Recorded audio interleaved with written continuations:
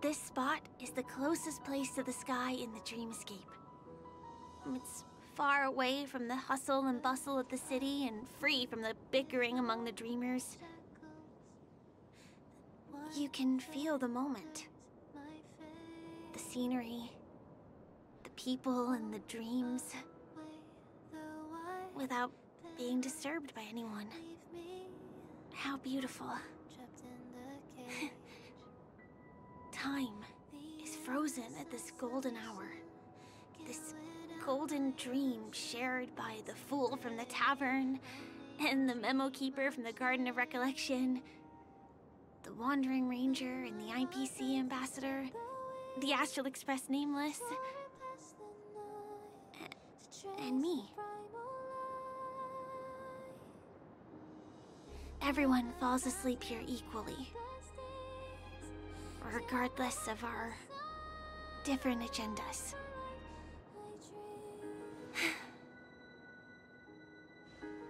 I'm sorry. I really am a stowaway.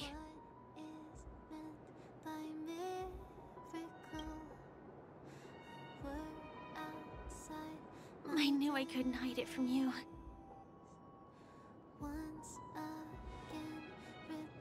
Hometown was destroyed a long time ago.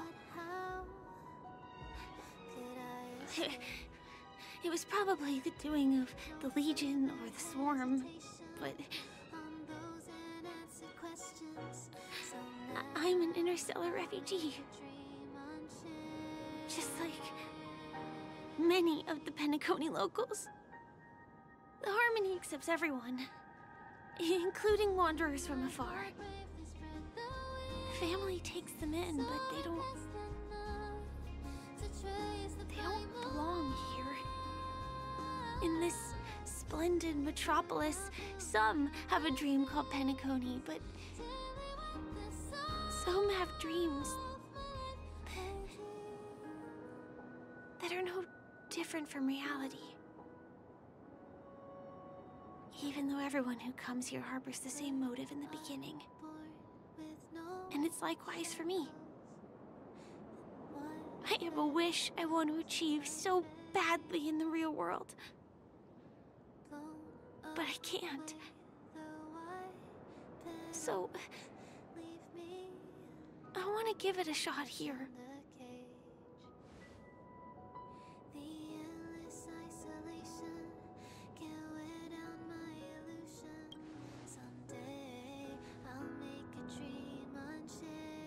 Entropy loss syndrome. Have you heard of this term? It's a strange condition. Those suffering from it will experience an irreversible chronic dissociation of their physical structure. This means they will slowly fade away, and the process is barely noticeable to others.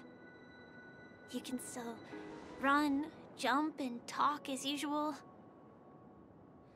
Everything seems normal. But then you'll start doing everything slightly slower than others.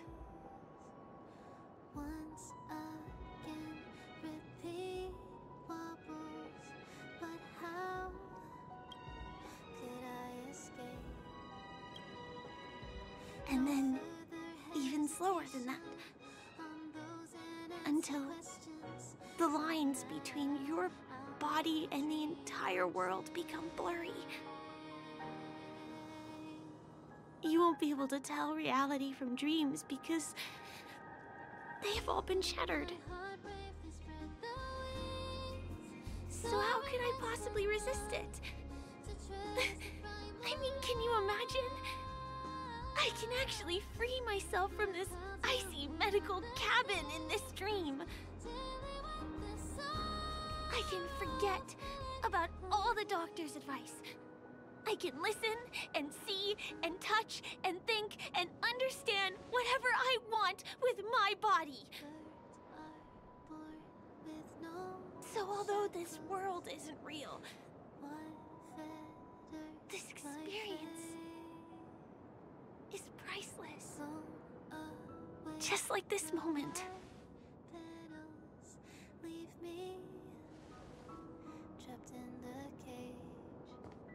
I'm sorry.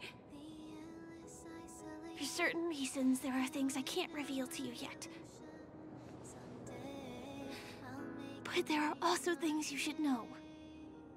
I am, in fact, after the Watchmaker's legacy. But that doesn't mean we have to go our separate ways and be enemies. But at least, I really hope things don't turn out that way.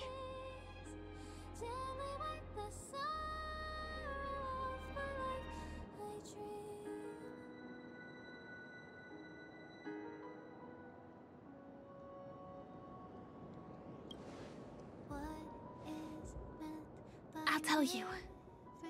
But not now. In my dream, I saw a scorched earth and a new sapling emerging from it. It bloomed against the morning sun and it whispered to me. Still remember the question on the invitation letter. Why does life slumber? You see, everything is possible in this land of dreams. The nightmarish past will disperse and fade away like bubbles in water, and the future that you don't want to face will never come. Why do people choose to sleep? I think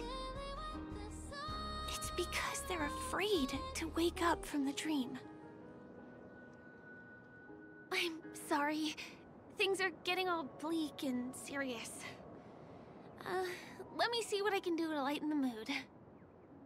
I mean, don't you have a lot of friends on the Astral Express? What would you guys do if something like this happened?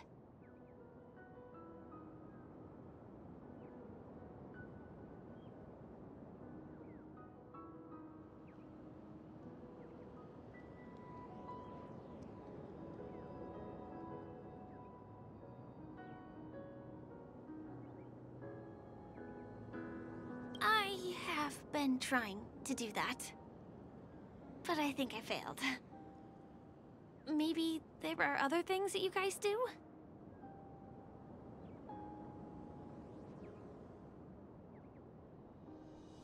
Coffee? Uh, we can't really make that here. Aren't there other crew members we can take inspiration from?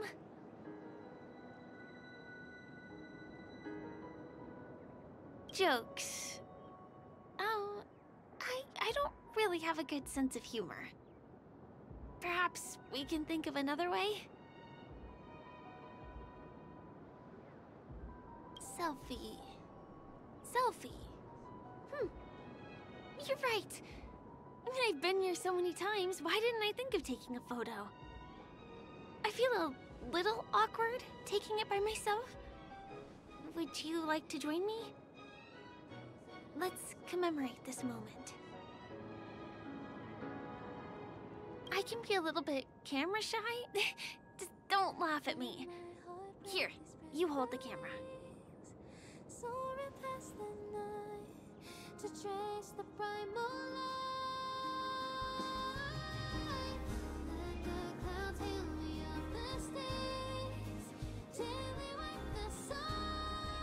Wait, let me get ready. I'm good. Let's do this. One, two, say cheese.